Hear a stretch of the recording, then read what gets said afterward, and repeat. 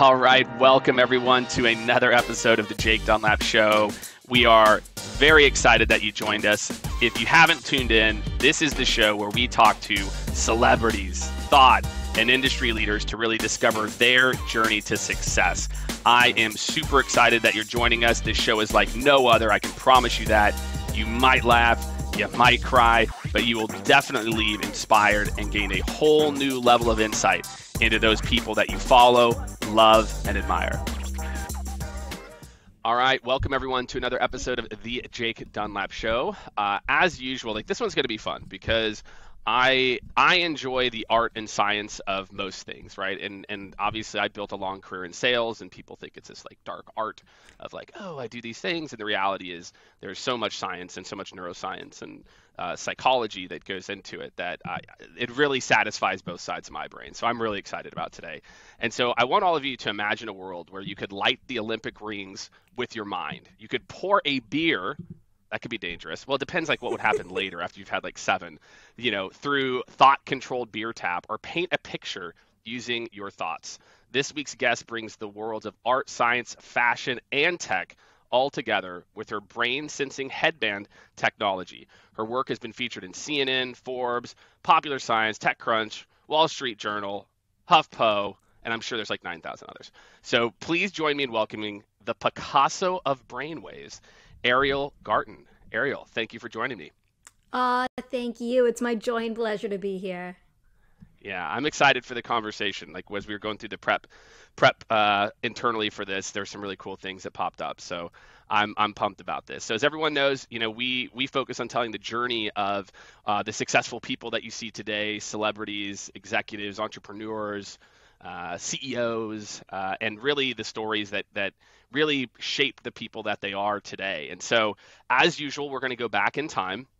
So we're going to go back, you know, with the exactly in the Wayback like Machine. Whole, yeah. Like a wave. There's some waves that are happening right now. Like the beginning so, of Doctor Who up, that always scared me as a kid. Uh, well, well, that was just. I think Doctor Who scared you as a kid because like they're the creepiest like villains. Like and there was there was a music too. Woo, woo. Yeah, the music. Yeah, the music was, and then the thing is spinning. Mm-hmm. My mom was mm-hmm. Doctor Who too. So, because of that, if you were if you were born in the like, I guess like 80, I, this is the 80s that I saw this, but I think that it started before, way before that. I think actually, you know, fun stat. I think Doctor Who. I, I think I remember this from trivia. I think Doctor Who actually has. I think maybe The Simpsons or somebody else beat them, but Doctor Who did have the record for like most episodes. Like it was some ridiculous amount because it came back too. So it's like before and after. So a lot of people are like, "What are they talking about right now? Like, what is what is this? you clearly, I, that is his uh, so, for, so, anybody who has no idea what we're talking about, this was a show in the late 70s, early 80s with a very creepy intro where they would like zip back in time and back and forth into different warp zones. And it was super creepy and obviously uh, shaped something in my consciousness when I think about exactly, going exactly back. back in time. You're just like, no, I don't want to go back in time. It's, it looks it's really bad there. So so we're gonna go back in time for you, and that's Toronto. So uh, I think it's always I always love talking to people who kind of like born and raised in the same place. I talked to a lot of people who've moved all over, um, but you know, you're born in Toronto. This in you know, kind of raised in like you know the 80s in Toronto, which I have to imagine is a much. I was just in Toronto. I guess, gosh, it's been like three years since Toronto kind of stayed in lockdown for so long. Um, but you know, what was what was life like growing up in Toronto during that time? What are some of the things that really stand out to you? I know you had a lot of you know um, really amazing influences in your your mom and your you know her love of art, etc. So, what was life like for you growing up in the early years? Sure. And, you know, Toronto is, at that point was nowhere near what it is now. Now it's an incredible cosmopolitan, multicultural city with endless art events and experiences that you can have. Back then, Toronto, not so much, but I, I managed to still experience that within my own world.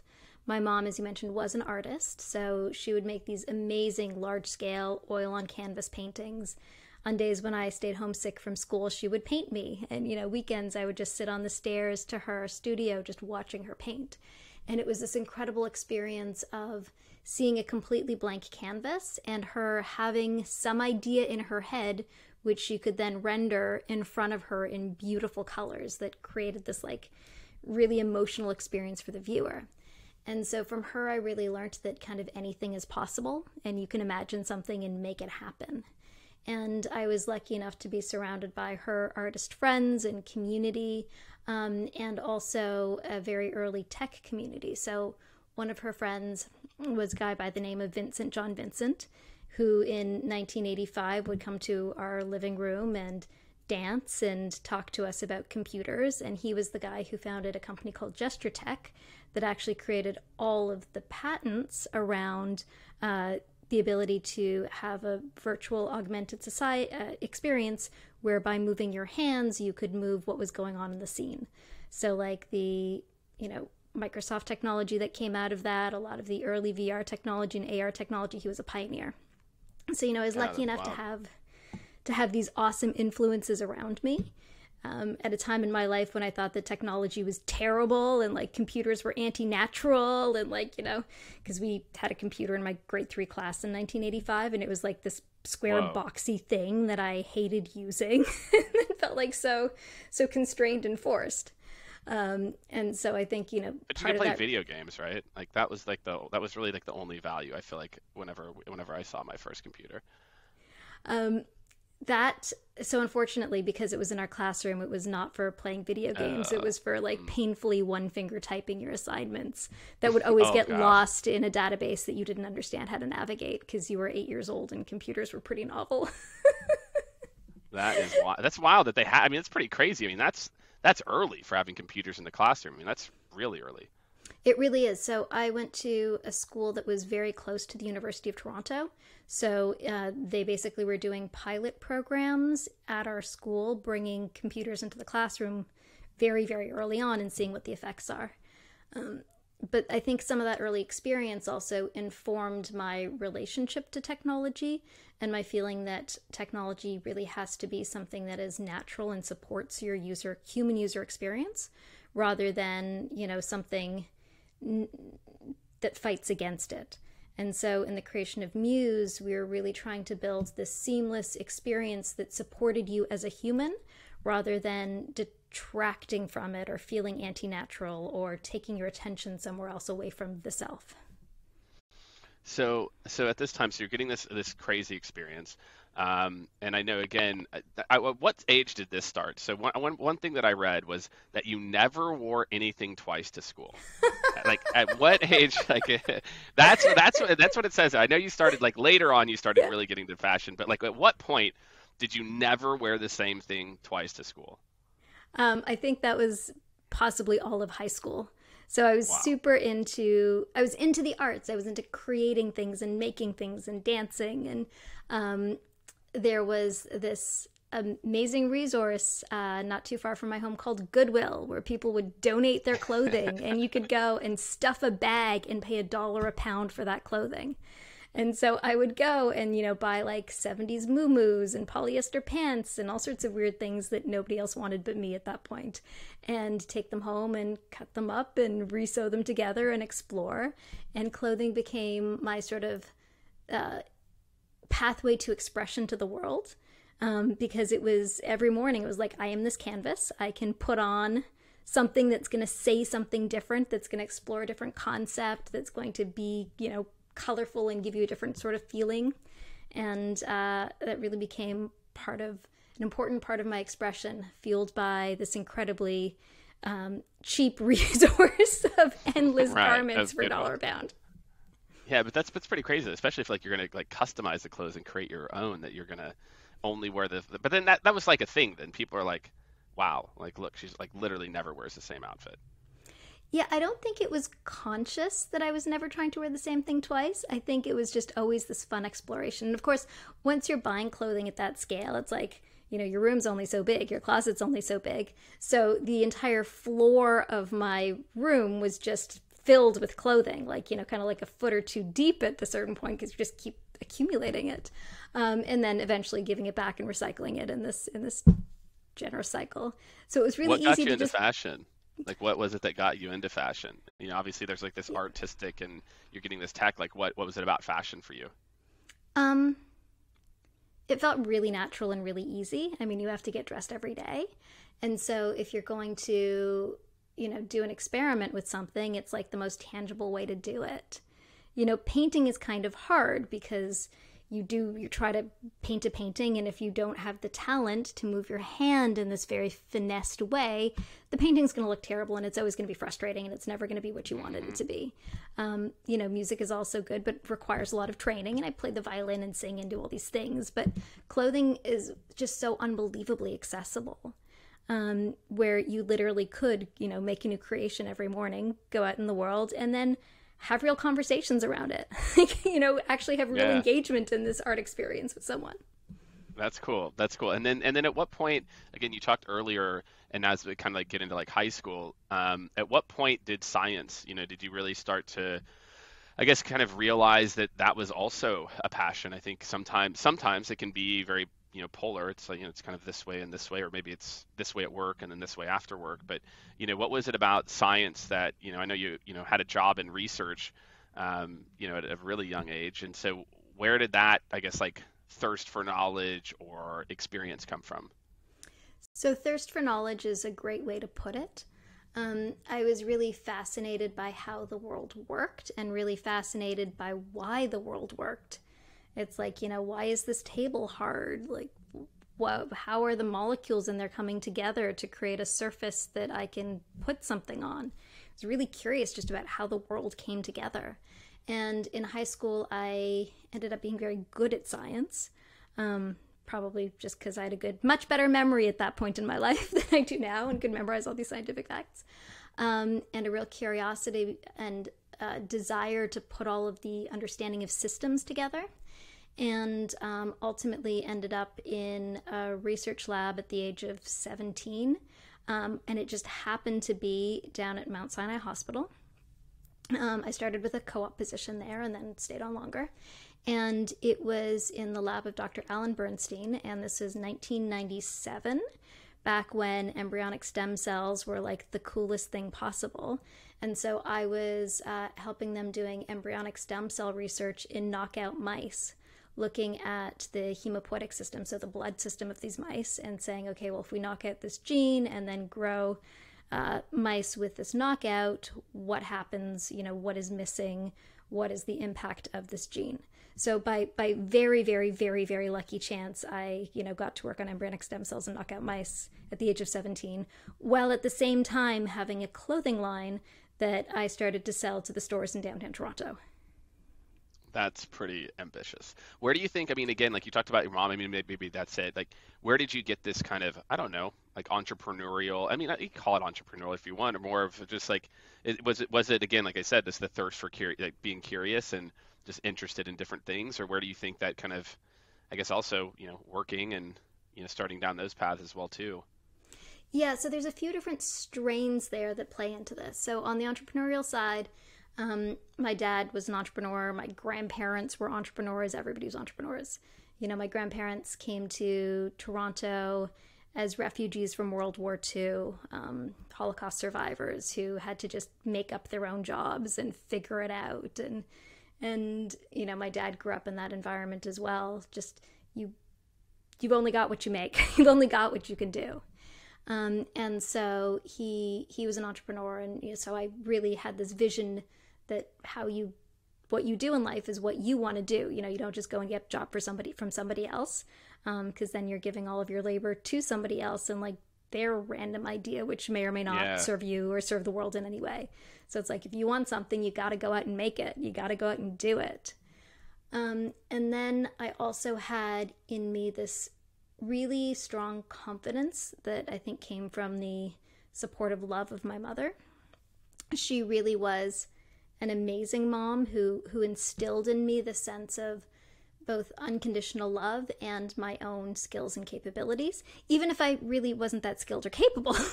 so right. I had I had this like just kind of actually extremely naive belief that I could kind of do anything. It's like, you know, you want to design some clothing and and see if somebody wants to take it, give it a try. Sure, you can do that. Um, yeah, so, you know, I went to stores in downtown Toronto and I took my shirts to them, and a bunch of stores said no. And one store said, yes, sure, we'll take those shirts on consignment. And I was like, great. And I had zero idea what consignment was at all. Right. no idea what the business model should be, nothing. Like, okay, are you paying me now? Is this like what's happening here? Like, yeah, but fine. I'm taking the shirts. I'm gonna see like all of a sudden somebody's validated that. So I was like, cool, I'm a designer. I can try that again with the next shirt. Um, so it was really this this feeling that I could do whatever I set my mind to. And then if it didn't work out, it's like, that's okay. That's not personal. It's not like I invested my life's work in trying to do this, but you'll just sort of do it a different way and see if that works. Very, very plucky, very naive. And that naivety was super helpful. Yeah, right, exactly. That kind of like not fear of failure. And, you know, again, like even the things that you're doing are things that you enjoyed, right? And I think, you know, if you're doing things you enjoy and you're learning along the way, then that's kind of what the journey is about. And so I think you're right. Like sometimes whenever parents, and I've got two young kids too, seven and four, and you know, I think about this all the time of like, you know, steering, but but creating space, you know, and and I think it's a tough balance as a parent, you know, sometimes to open yet guide at times, but then not guide and let them figure it out. But I think again, if the if you know if you find these things you're curious about, then I think it always makes it easier. Yeah, and it it came naturally. And I also very much had instilled from my mother, who was an artist, where it's about, you know, creating something that's tangible, making something. I had this real drive to produce things and make things and, you know, have them be in the world, to have an impact in that way. And um, also the sensation, even at a young age, that I didn't want to be wasting time. Yeah. You know, time in which I was not doing or making or moving something forward was time that was kind of wasted.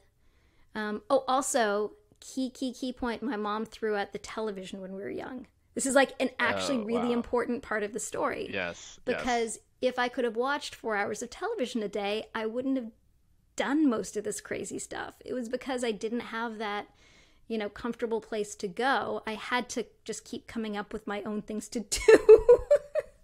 Maybe that's it. I'm gonna do that with the iPad. Like, you know, it's like the iPad is like the, you know, the the 2000s version of this, where it's yeah. like, it's so easy. You're just like, I have things to do. It's like, no, like they'll figure it out. He'll go read a book, or something, you know, or he'll go maybe make his own clothes, or go sell yeah. stuff on eBay. That's his latest thing. Is he'll find random things we're not using and try to sell them on eBay. So, but hey, I encourage it. I'm like, great, go do it totally making of entrepreneurship. And as a parent, it's so easy to be like when your kid wants your tablet and you're tired, it's like, fine, just do it because I'm too tired to figure out what to do with you. And you know, if you don't give them the tablet, then it's going to just come back on you to be like, but mommy, what am I doing now? Mommy, exactly. play with me. Mommy, spend time with me. Um, um, which is wonderful, but also not helpful when you're trying to work from home at a job and you just just physically can't and it's it's uh, you know as a parent such a hard battle to say inside yourself not to mention the battle with the kid to say okay we're going to not give them the tablet now and we're going to go through the pain of figuring out what else it is right. that they're going to do because they're too young That's to you know deal with that pain themselves That's exactly it. Trust me, and I know that during COVID, a lot of people have experienced this. So, okay, so you've got all these things. You're doing all these things. You graduate, and then you go to University of Toronto, uh, University College, and you pick you you major in neuroscience, which is amazing. And you know, tell me about like what was that experience like for you? So you, you stayed you know kind of relatively close. Um, you then are kind of I guess thinking, okay, well I'm going to go to college, you know, which maybe was a choice or not. You're kind of doing your thing. Um, like, what was college like for you? And again, I'm just because again, it sounds like you're doing like a lot of like real work versus, you know, just going out and having fun. So college was incredibly fun. Um, I lived down the street from the University of Toronto, so it was a pretty obvious place to go there. Um, my choice was between going to Ryerson, which had an incredible fashion design program, and the University of Toronto, which had an incredible science program. And so it's like, okay, well, let's let's see the science thing through first because you can always go back and do fashion afterwards. So I enrolled in sciences, absolutely loved it, you know, just drinking in knowledge, loved being a university student, minored in philosophy, um, and really, really loved the university experience of being able to just spend time with ideas and think about things and learn things. Um, also, of course, had a awesome social life and great friends and you know going out to pubs and all of the things and so you know it feels like I, I in some ways had a very ideal university experience um, and at the same time, by my second or third year, moved into an apartment where I kind of turned it into an art gallery. and at the same time, I had this other, you know, I kept going sort of on the clothing design business a little bit. And then as soon as I graduated with my neuroscience degree, I said, okay, well, I've done neuroscience for the last four years. Um, now it's time to see what's in this clothing thing for me. So the apartment that I was in was on the main street, like downtown Main Street, Toronto, because the university is right downtown. And so I basically like opened the door to my apartment, turned it into a little store. Is that Flavor Hall? Is that, that was Flavor Hall. Yep. Yeah. Which we then later renovated and turned really into a store. And um, and all of a sudden, like hired a dressmaker because I should mention that although I was a fantastic designer of clothes, I was a terrible constructor of clothes. so, That's a key so, element. That's yeah, that is element. a key element. Um, uh, so you know, patience has never been my strong suit, as as the story might suggest. Um, so hired a dressmaker. At that point, the only way you could hire a dressmaker is putting an ad in the newspaper saying, "I would like to hire a dressmaker," and people call you on your telephone um, if they respond to your ad. And uh, we together started to create a line of clothing, populated it in my store, um, started to sell to other stores across North America, got a rep in the uh, US Midwest, um, started doing Toronto Fashion Week every season, every year rather. And uh, all of a sudden, at the ripe old age of 22, 23, 24, was a fashion designer started to get into the newspapers because my things were going down the runway and there were people were taking shots of it. So, you know, really felt like I was on top of the world. Now, at the same time, I continued uh, working in some neuroscience labs. Um, yeah, that's what I thought. Yeah, you're still doing this, right? Like a year yeah. after, when I've got like timeline, you start this in 2002, but then 2003, you're doing neuroscience research uh, yes. as well. Yep. So uh, being downtown in Toronto was very lucky because uh, my store was right next to the University of Toronto. The University of Toronto was then right next to the Toronto Western Hospital, which is one of the major neuroscience research hospitals. Um, literally like a four blocks away, three blocks away. And so I would leave the store with an intern in it, um, and I would walk down the street to the research lab and uh, you know do a little work there for a while and then by 2002 2003 that's when i started collaborating with steve mann um, another university of toronto professor and a guy who happened to be the inventor of the wearable computer so the this is a man who in 1998 was walking around with a pair of glasses with a camera connected oh to a computer. Oh my gosh, I know exactly who he is. Yes. Yeah, I remember. Yeah, I remember him for sure. It was the yes. original Google Glass, basically. Like they exactly they copied all this stuff off of it. Yeah, and he had like a huge comp- yeah. Anyone, we'll put a link to it in the show notes so people can go check him out on like Wikipedia. It's pretty totally. Cool. It's incredibly cool. Like the real deal, real mad scientist, the guy who literally invented Google Glass 20 years before Google did. Yeah. Um, back at MIT in the 90s. So a one of my good friends i was super social. One of my good friends worked in his lab. Um, he was his master's student chris Aimone he was uh, this incredible electrical engineer. And we'd go out you know dancing and raving in the evenings. And then he'd go back into the lab and i'd roll back into the lab with him. Um, and uh, at this point steve had a lab in his home. And so we just you know hang out working on things. And steve and i began to collaborate with this brainwave system that he had. So Steve had built this brain computer interface system at MIT in the 90s, and I, as a you know neuroscience grad, um, was very fascinated with it and very fascinated by what we could do with it. And what we started doing was creating concerts where you could translate your brainwave activity into sound. Um, I was not a computer programmer, but luckily, uh, Chris, um, who became my co founder at Muse, was an incredible electrical engineer and programmer. And so we took this early system and started to, he started to program it to create these experiences where, based on shifts in your brain state, you could actually hear changes in the audio in the room. So you could hear as you focus, the audio could get louder, as you relax, the audio could get lower.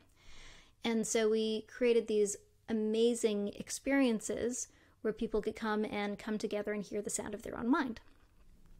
And so we we played around with this concept with a few other people who were in the lab, like James Fung. Um, and for a few years, it was just explorations, and I went back and kind of, you know, continued to collaborate with Steve in fun ways. But, you know, we made like things like shirts with your brainwaves on them, and I really started to weave together the my art and science lives. Right. Um, and you know, I was sort of doing my own thing in fashion, and it like sort of kept rolling in my head, like, what can we do with this? Um, by my third or fourth year in fashion, my dad's like, okay, you know, you've had a lot of fun with this, but this really is not a good business model. All right, so you're open yeah. and free, and then there's a point where dad's like, okay, look, let's just be real here about what's happening. Yeah, let's be real. And I mean, I was making money. I was like, I literally had a business where I was hiring people to create clothing. I was selling that clothing in my store. Um, I was having interns run the store because I couldn't afford to pay anybody, but um, they were, you know, I was teaching them, they were teaching me. It all it all worked out. Yeah. Um, and and then um, I would sell these items to stores, and they would pay me, but the stores never, ever, ever paid you on time, ever and then they'd reorder and then they'd never pay you for the reorders. And so my dad is like, this is fabulous, but this is really not a business model. You know, go and figure out something to do that's actually going to be a successful business. There is no economy of scale here. And, you know, I was paying my dressmakers X dollars an hour. And by the time you marked it up properly, you can't actually pay somebody a proper Canadian wage right. to make clothing and have it sold at a reasonable price. And so this was devastating to me because I'm now 24, 25, you know, I'm in, in fashion magazines and on the cover, you know, newspaper section covers as a designer and a designer who's a neuroscientist. And it's like, you know, this is the coolest thing I could think of. And my dad's right. like, nope, go find something else to do. And for some stupid, brilliant, I don't know why ever reason, I listened to him. Like I don't know why. Right. right. Um, um, maybe yeah. I, I, I really don't know why I listened to him. And so I closed my store, which was like the most painful thing in the entire world. I then uh, went and um, got postgraduate training as a psychotherapist because I figured, okay, well, I, I want to somehow create a business. You know, what's what's the next business? It's the entrepreneur in you, and somehow that business was going to be around the brain. Um, and being a psychotherapist was a way to uh, sort of engage this question of the mind and the brain from a different direction.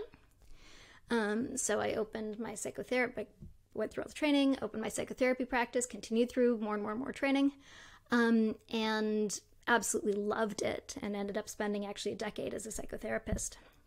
And, and what was that whole... like? I mean, like for people who don't know, you know, how is that different than you know what people might typically you know think because whenever I you know when I was kind of doing the prep here, you know, a lot of it's like, like gaining clarity on objectives and needs and overcoming limiting beliefs and you know as opposed I think a lot of people think when they hear therapist it's like this you know you're laying on a couch maybe they were laying on a couch too but i think it's maybe a little bit different like how, how like for people who don't know how would you describe the differences um, so there are many different forms of psychotherapy. Um, you know, psychoanalytics is what you think of when you're lying on a couch, and that's a very long and painful process of pulling out all of your childhood experiences. Whereas the kind of psychotherapy that I would do was a little bit more pragmatic and based on um, helping people understand what's going on in their mind and body at the moment, and identifying where the roots of their blocks, tensions, frustrations, struggles are coming from. And that's not an exhaustive exercise at looking at everything you did when you were three years old. That is identifying, you know, what are your limiting beliefs, identifying where why you why you feel the way you do in this situation and does this actually map to reality so, using techniques closer to things like cognitive behavioral therapy, where you're really analyzing are my thoughts actually aligned to what's really going on? And if they're not, where did those beliefs come from? And then how do we go about shifting and changing those beliefs to be more aligned with reality? Cool. All right, I think that'll be helpful for a lot of people because again, like the type of work, and then and then you're doing that, and then you do start Muse. Right? And we'll again we'll link to we'll do all the links so people can you know check it out. And um, you know, I think it's 2009 technically it was the the kickoff, but you're still kind of doing both for a bit. Exactly. You've really done your research. Thank you. I told you. Um, true. So, you know, this whole time after after closing you uh, after closing Flavor Hall, I was really kind of still in the back of my mind thinking like what is the business around the mind? Like how is it that I can use the knowledge and experience that I've gained and how the brain works to really help people in some way. And I kept going back to my time in the lab working with Steve and thinking like there's really something there. We're like literally letting people Yeah. interact with the world directly with their brain. Like and I really think I can form a business around it. And we, you know, would sort of play around with it and then I went to I approached Chris and James Fung at the time who was working with us early on and said, "Can we really make this real? Can we can we do something here?" And I brought on a friend of mine, Trevor Coleman, who was my boyfriend. So my boyfriend was uh, Chris DeCastro, not Chris Aimone. Chris DeCastro is now my husband, but my husband's best friend at the time was a guy called Trevor Coleman, who was really into uh, music promotion and artist management and creating experiences that were awesome and taking like you know dive bars and turning them around and making them a place where everybody wanted to be. He just had a great sense of business and what makes a great experience for people. So i brought in trevor and chris and myself and the three of us kind of sat down and said okay we're going to form a business around this what is it going to be and this is sort of like more 2005 6 7 like before we really formalize it and by 2009, we are formalized as Muse. We've spent, or Interaxon, we've spent, uh, you know, many, many hours sitting in Trevor's basement. Literally, he had a basement apartment, and we would sit around coming up with business plans for business that didn't exist. And initially thought that we were going to be creating experiences for the clubs that he was promoting at, and that that was going to be this.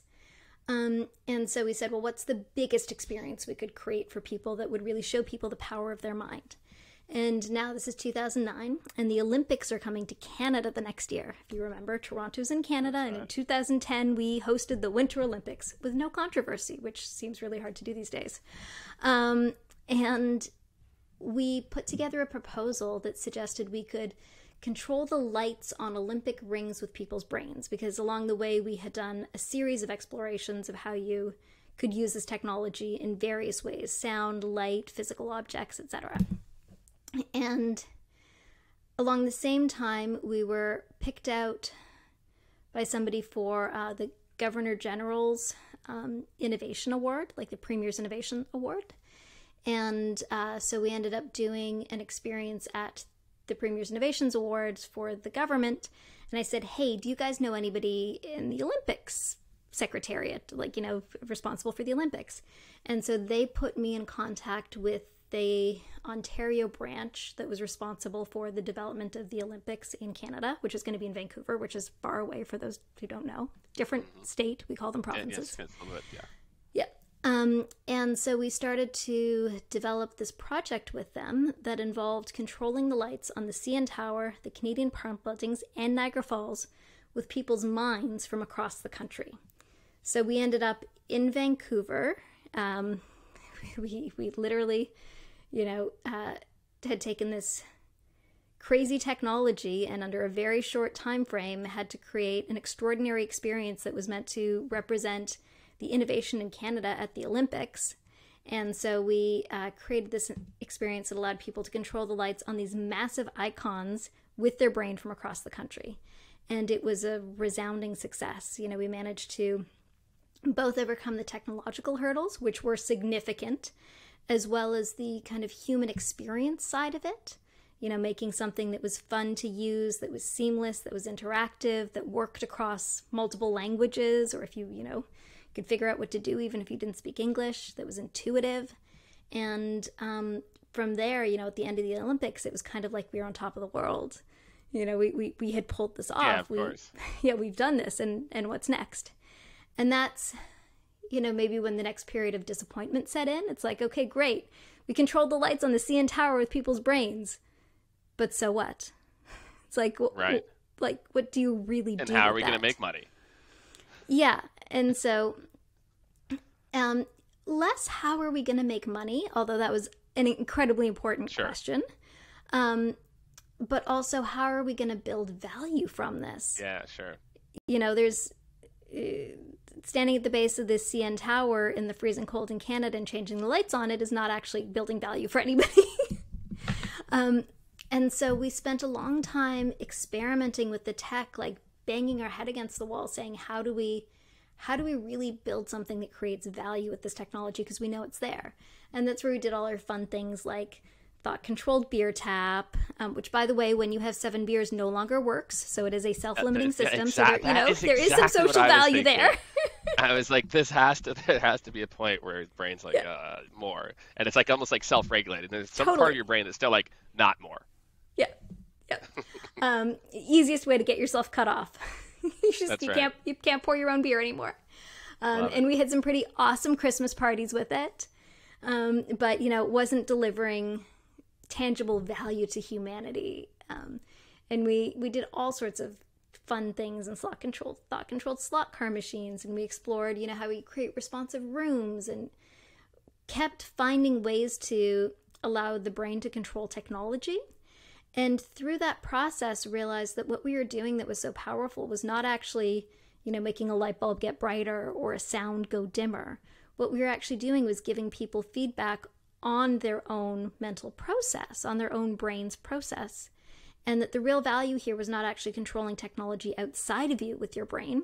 The real value was using this technology to help you control your own mind, to help you gain insight into your own mental state and then shift and change that with feedback. So, you know, as we are telling people to focus to make the light brighter, or relax to make the light dimmer, we were actually telling them to focus and relax, and they were focusing and seeing the value of it and then becoming reinforced to it. It's neurofeedback. Right. Or relaxing and then getting the subconscious signal to their brain that actually, you know, this you are relaxing, this is working, do more of that, do more of that. And then letting people see the readout on their brain activity. And what we recognized is that was the real value. And then we needed to apply that in a way that was going to be tangible. And right at this point, right now we're like 2011, 2012, we went to a conference in San Francisco that was on the Google campus um, that was uh, called Wisdom 2.0. And it was about the integration of technology and wisdom practices, meditation. And uh, were while you already we were into meditation at this point? Were you already? Is this already something that you had prioritized? Yeah, so at that point, we could see that there was this link between what we were teaching people in meditation. So, Trevor was actually a practicing Buddhist.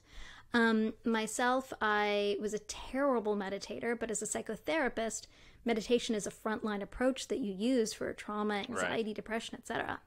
Um, and, you know, as someone trained in neuroscience, I understood the literature associated with it and the value there. And so, you know, we recognize that as we're teaching people to focus and relax, we're actually kind of teaching them to meditate. And that meditation is something that is so incredibly valuable for people, but quite difficult to do, um, and much less popular back in 2012. Yeah. And that if we could build a tool that was actually going to make meditation easier for people, then we would bring real value to this world. You know, the value wasn't controlling lights in a flashing building. The, the value was really teaching people to manage themselves and to be able to self regulate. And even if the technology didn't work, even if we got just, you know, 10 more people to meditate in this world, we would have done something good. Now, it turns right. out the technology really did work. And since then, you know, almost half a million people have learned to meditate with Muse or deepen their practice with it. But at that time, it was just like, okay, if we can just get more people to meditate, you know, if, if this just works, then then this is the thing. And so we went to this conference. Um, it was, you know, as part of it was like this first or second Wisdom 2.0, um, and it was really the beginning of this conversation about bringing um, uh, technology into mindfulness. And we met a guy named Chade-Meng Tan. He was one second responsible for Google's meditation program back in 2012, and he became our first investor. He brought us into a little room. We pitched him. He said, you know, if this technology does what I think it does, um, you're going to help me on my mission. This is Meng's mission of uh, of bringing in world peace within my lifetime. And I'm writing you a check for hundred thousand dollars. and we all just sort of like looked at each other. You're like, okay, like, here we go. Okay, here we go. I guess we're building a meditation tool. And so we then went and set about really building our meditation tool and taking it into VC's offices and we'd show them the technology and they'd be like, oh my God, this is incredible. It can do all these things. What's the killer app? And we'd be like, meditation. And they'd literally laugh us out of the office. right. Like, now, okay, I get it. Now what? Yeah. They're like, meditation, really? That's the killer app? Like, that's a big market for you? And it turns out 12 years later, meditation sure. truly was the killer app. Um, and many of those VCs meditate with Muse. Um, and it was this fascinating process of, you know, building a thing that was definitely before its time. Um, and you know, sometimes people would be like, "What are you building?" We're like, "Oh, it's a cognitive trainer," and we had like you know logos of like brains with with muscles on them. Um, and sometimes they'd be like, "Is this like meditation?" We'd be like, "Do meditate," and they'd be like, "Yes," and we're like, "Yeah, it's meditation, but shh." Right, right. and then uh, 2013, meditation was on the cover of Time magazine, and like that sort of began the the inflection point in meditation being everywhere, and meditation being a thing that now big CEOs are doing, and athletes are doing, and celebrities are doing. And we managed to just be in the right place at the right time with a solution that actually made meditation easier that actually solved that problem that most people have when you meditate of like, what's going on in my mind? Am I doing this right? And with Muse, we're able to give people real time feedback on their brain to say, yes, you're doing it right. You are meditating. That's exactly what you should be doing. Or, nope, your mind is wandering. Come on back, back to your focus.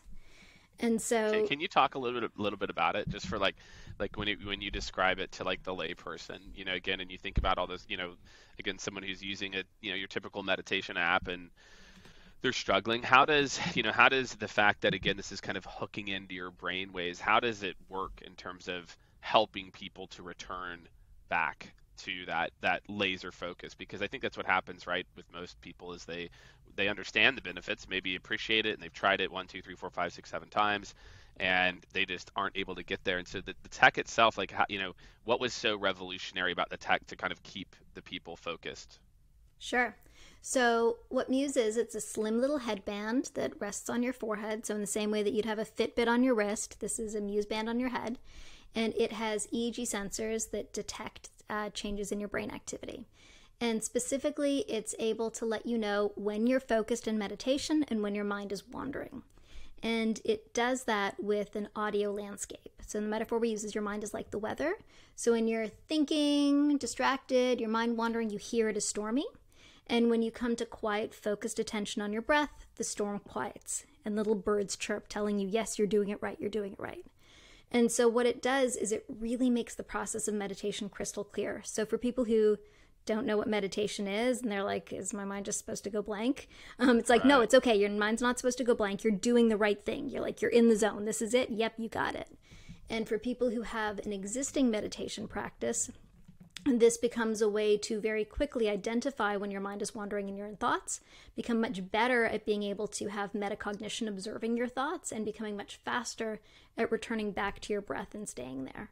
So it really is like like a mirror for your meditation practice, or like a little coach inside your head saying, "Yep, you're doing it right," um, and really either teaching you what to do for the first time or really deepening and accelerating your learning. Okay, great. Yeah, and I think, and then obviously now you've got, you, you know, again, I don't want to fast forward too much. So let's talk about so at like late 2010s, right? So it's you're starting to gain traction. Things are going in. We're also at this point, you know, we're starting to see like other wearables, right? Like wearables mm-hmm. weren't really a thing, you know, until you like Fitbit, like you know some other ones that had came out, and you know as, as you're seeing these other things come out, like how did how did you kind of I guess continue to position Muse as a part of this this process? Because obviously now there's a lot around sleep, etc. So I, I, definitely want you to talk about you know with like the the Muse S, like this gen, you know I know there's a lot of focus around sleep as well. So like how does how does the the mission evolve as like you said people meditation becomes people are now used to wearing these things or rings or watches or you know other things to track their you know their their daily activities. You know, how do you see how did you like view that as you were you know kind of continuing to develop and you know as you kind of think about the future of Muse and, and what it's doing now. Obviously, I think sleep has become a big priority, similar to like the wave I think you saw in meditation. I feel like we're seeing a wave in you know productive sleep, right? So again, I think you know how has that how has that evolved over time? You know, and started to lead into these other areas. So on the wearables question, you know, we, we were extremely lucky that there was another trend that was building exactly at that time of, you know, the early jawbone ups and Fitbits and blood pressure cuffs. And so you had all of these wearables that could track different parts of your body, but nothing that worked for the brain. So we were able to really fit nicely into a new category that people were understanding and that was emerging, wearables, and fit in this very unique niche of it where there wasn't somebody else operating. And um, we knew we, you know, that the meditation tool was the thing that we cared deeply about, and that was the product that we went to market with. And as it began to grow and build traction, and we, you know, would get emails back saying, like, oh my God, I can finally meditate, you know, I've been trying to. I've always tried to learn how to meditate and like finally I can do it and then you know seeing the results like oh you yeah. know I'm I'm my husband's going through cancer care and I'm finding I'm nicer to him and to my kids because I'm now meditating with Muse. Like that was like the second Amazon review we got. I was like, oh my god, we're amazing. actually having an impact. Yes. Yeah. Um, you know, now we're there's hundreds of thousands of users, and when we went back and surveyed them and said, what are the times when you're using your device and what are the use cases? It turns out that the two most popular times to meditate were uh, 7 a.m. followed closely by 6 a.m. Yeah, right, right before. Yep. Yeah, right, early, right, early meditators. Right when you wake up. Yeah, I'm, right, I'm, I'm not in the 6 a.m. camp. yeah. Um, and then the second most popular time was 10 p.m. And people were actually using their muse to help them fall asleep. Because they do a meditation right before bed, it would teach them to shut down their mind because why do most people have difficulty falling asleep? Because your mind just won't stop. So this would teach them to quiet their mind and they could fall into sleep. And we recognized that we could build something that would actually work much better for that. And so we created a new device called Muse S, which was soft and comfy that you could actually wear to sleep so that you could continue to wear the Muse device while you were falling asleep. And then, as it turns out, once you have a clinical grade EEG on your head, so Muse is a clinical grade EEG, there's literally hundreds and hundreds of papers by awesome research labs using Muse. Once you have an EEG on your head, you can track sleep basically as effectively as a sleep lab. So now we have this device that people have in their homes and have in their beds, which is able to track their sleep moment by moment, stage by stage, as effectively as a massive sleep lab with all of those wires and goop and, you know, an awful yeah. environment.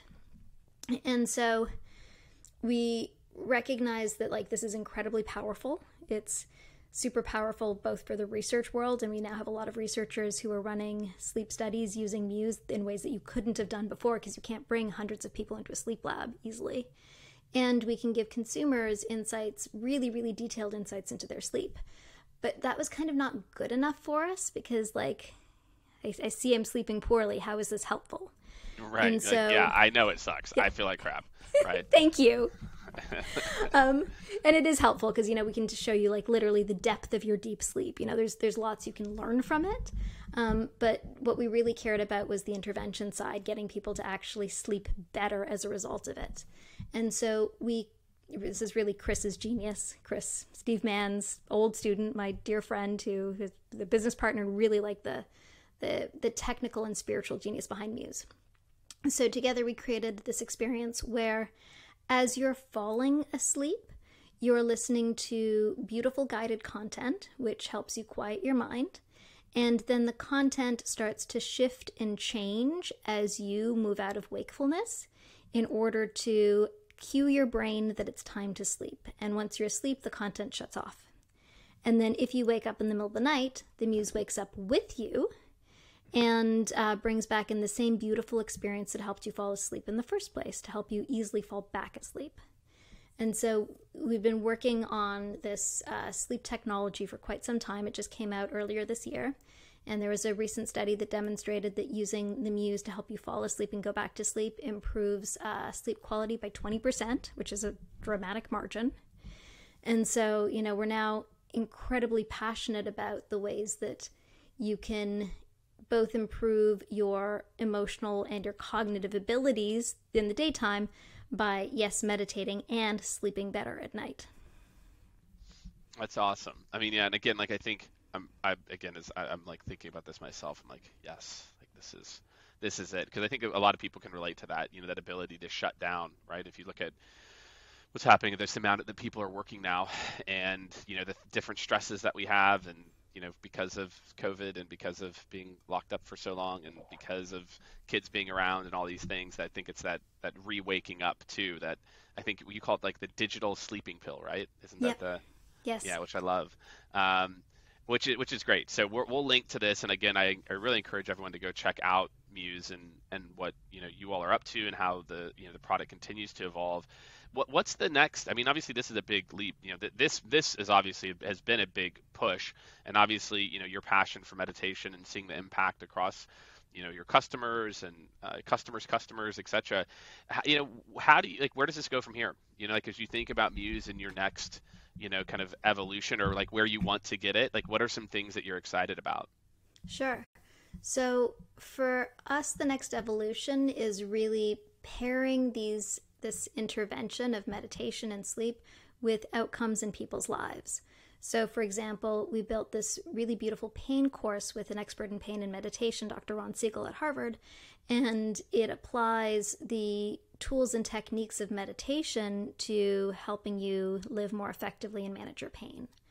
Um, and so, you know, we're we're really interested in not just how you get somebody to start a meditation practice and you know maintain their practice, but right. how you really get people to um, make the the habit changes and have the support tools around them to really make life shifts in things that you want to shift in your life, whether it's sleep or eating or pain or anxiety.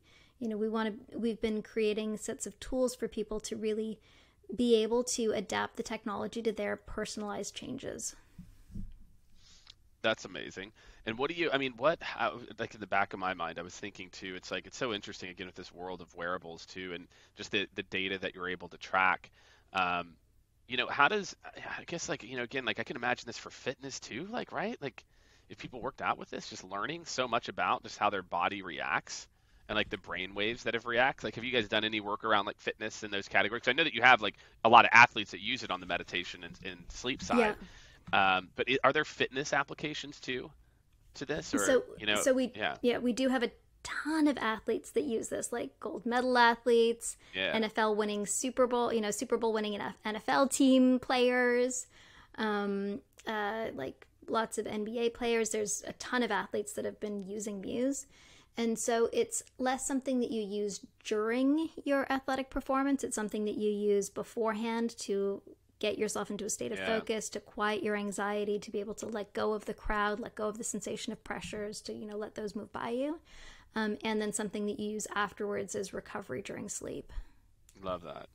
Yeah and and what you and again that, that makes a ton of sense to me. And so as, as we start to kind of wrap up here you know as you talk about like pain management like what are the, what are i guess what are some of the other I guess if maybe not, you know, during, you know, what are some of the, I guess, the additional? So we talked about pain. Are there additional applications? And, you know, will, will you ever go back to trying to, you know, I always think too, I'm like, wow, you're so close. Like, like, like thinking about controlling things with your, your brain as well too. And obviously you, that was the old version, etc. You know, like what are the things that maybe that you're seeing and whether it's with Muse or just in the ether right now that, again, you were doing things so far ahead of your time, you know, 10 years ago and then even 20 years ago, some of the early stuff like, are there additional applications for this, whether it's with Muse or with just other brainwave technologies you're seeing that I, I think are exciting or, or interesting for people to learn?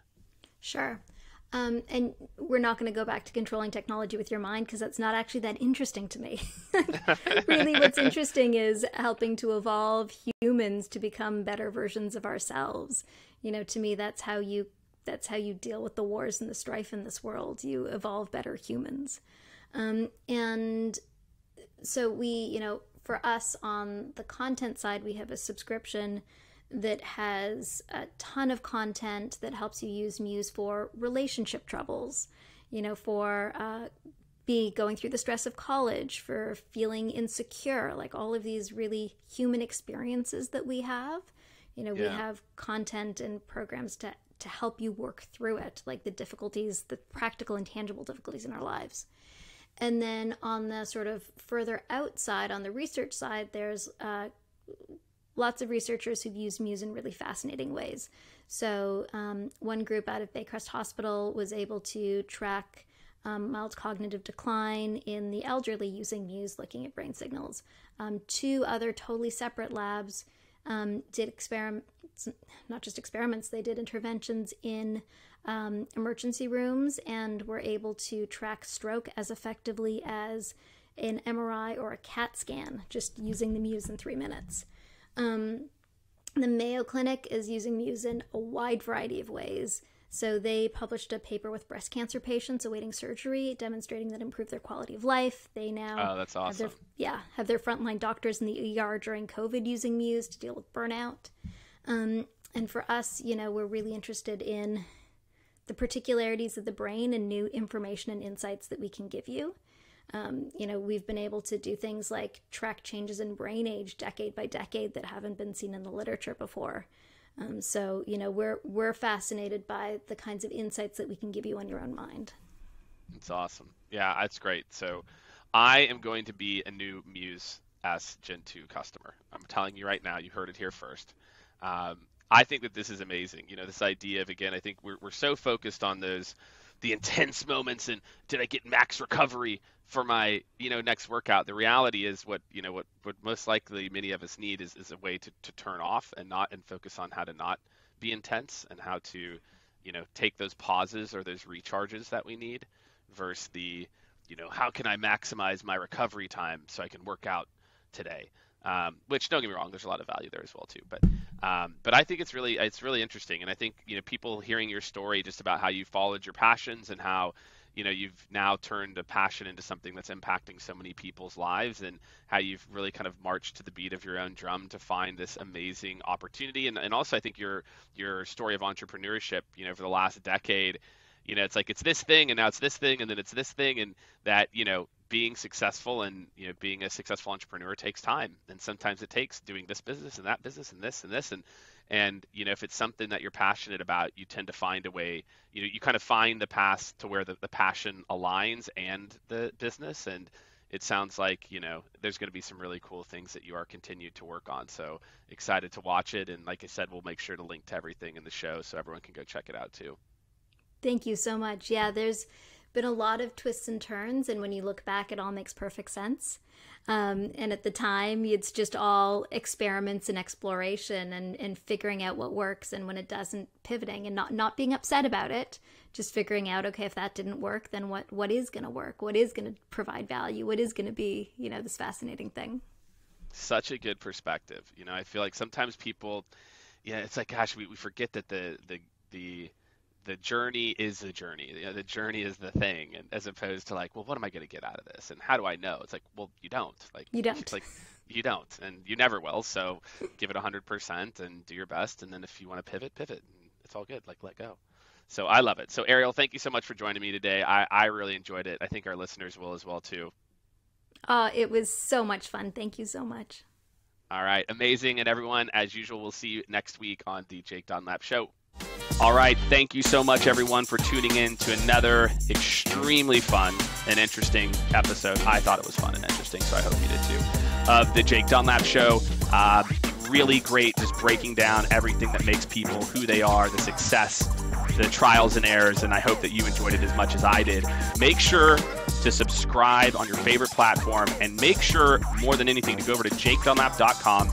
That's where you're going to stay up to date on all the latest guests, additional details, prep notes. We're going to be sharing everything on jakedunlap.com. So go ahead, go over there. You can subscribe there as well too, and we will see you next week on the Jake Dunlap Show.